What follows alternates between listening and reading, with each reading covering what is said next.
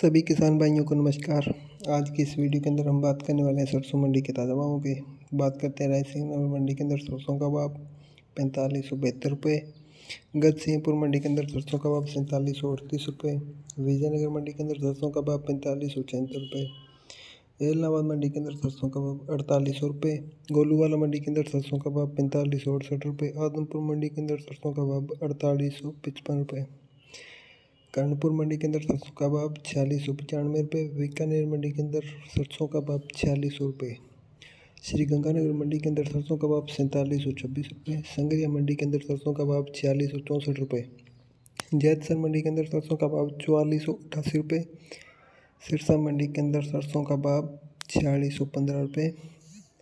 बात करते हैं रावला मंडी की तो रावला मंडी के अंदर सरसों का भाव सैंतालीस सौ रुपये, नोहर मंडी के अंदर सरसों का भाव सैंतालीस सौ पचास रुपये।